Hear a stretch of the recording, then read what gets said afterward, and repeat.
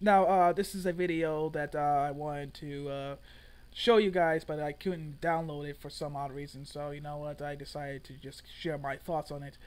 And you know, there, there's, there's a big, massive double standard with the feminists these days. You know, if, if, if a man hits a woman, then you know the the balls goes off the walls. You know that man's a misogynist. He must be put into jail. The other way around, and the female's just defending herself. You know, all that sort of bullshit. Uh, basically, it's about this girl, a female student, who went up to this male student's face. But by the way, both of them are black. Um, and uh, she keeps on persisting him to hit her because um, reason I don't know. She just, you know, demanded to be hit on, to be uh, attacked, but he doesn't want to, and she keeps saying that to attack him. And if he does, if he does in fact attack her, then all of her friends will jump him.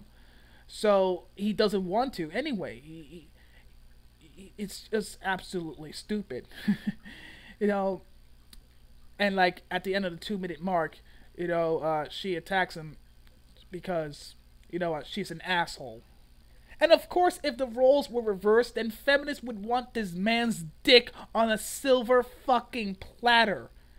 I mean, it's absolutely ridiculous that some people act this way. It's just absolutely fucking stupid. So, you know, I just thought I'd give out my two cents to it. I am the Atheist Gamer. Peace to game out.